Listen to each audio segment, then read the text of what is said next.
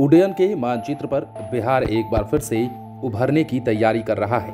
एक तरफ़, राज्य सरकार वर्षों बाद 20 सीटर विमान खरीदने जा रही है तो दूसरी तरफ़ सरकार ने बिहार में बदहाल पड़े 18 रनवे को फिर से सेवा योग्य बनाने की पहल शुरू कर दी है। इस साल पेश होने वाले बजट में इसके लिए राशि की व्यवस्था भी की जा सकती है। बताया जा रहा है कि सरकार 18 पुराने एयरपोर्ट की मरम्मत के साथ ही दो नए हेलीपैड का निर्माण भी इसी वित्तीय वर्ष में करने जा रही है। हेलीपैड बनाने के साथ साथ सरकार की ओर से हवाई अड्डा की सुरक्षा व्यवस्था भी बेहतर करने की योजना पर काम किया जा रहा है। दरअसल बिहार के साथ सबसे खास बात यह है कि बंद पड़े 18 एयरपोर्ट राज्य के विभिन्न क्षेत्रों में अवस्थित हैं। ऐसे में इन एयरपोर्ट के सुचारू होने पर कई जिलों में हवाई सेवा उपलब्ध हो पाएगी। ये सभी 18 एयरपोर्ट बिहार सरकार के अधीन है, लेकिन उनकी स्थिति ठीक नहीं है। अतिक्रमण से लेकर सुरक्षा कारणों से भी उनका उपयोग नहीं हो पा रहा है। कई एयरपोर्ट की हालत ऐसी हो चुकी है कि वहाँ रनवे तक अब नहीं बचे हैं।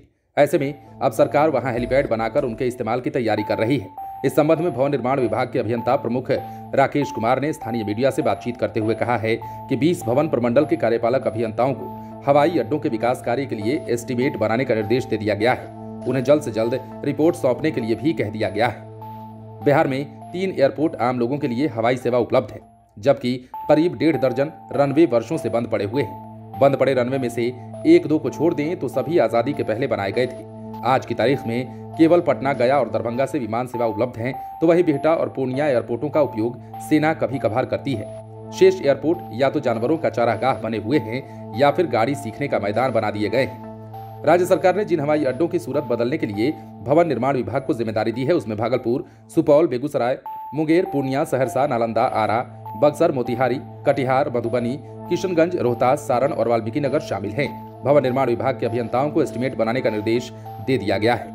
दरअसल, वर्षों से बंद पड़े एयरपोर्ट की ज़मीन पर हेलीपैड बनने से न केवल आपदा के समय, बल्कि वीआईपी मूवमेंट, पर्यटन और अन्य कार्यों में भी इसका बेहतर इस्तेमाल किया जा सकेगा। हेलीपैड तैयार हो जाने से रात्रि में भी हेलीकॉप्टर के उतरने की सुविधा प्राप्त हो सकेगी। फ़िलहाल, एजेंसी के माध्यम से इसका निर्माण कराया जाएगा।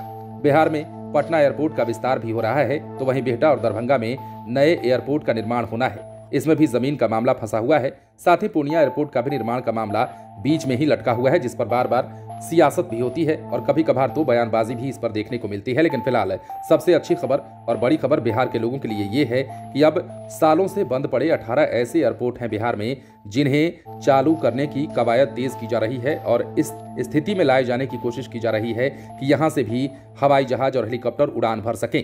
अब ऐसे में देखना होगा कि सरकार ने जो पहल शुरू कर दी है, उस पहल को कहाँ तक पहुँचाया जाता है और कितनी जल्दी बिहार के लोगों को बड़ी से बड़ी खुशखबरी मिलती है। क्योंकि बिहार के लोगों का इंतज़ार है और सालों का इंतज़ार जब खत्म होगा तो बिहार के लोग वाकई सरकार के इस कार्य को सराहेंगे भी। बने रहे लाइव सिटीज़ के साथ। यदि अब तक आपने हमारे चैनल को सब्सक्राइब नहीं किया है तो सब्सक्राइब कर लीजिए ताकि हम आपको खबरों से अपडेट रख सकें।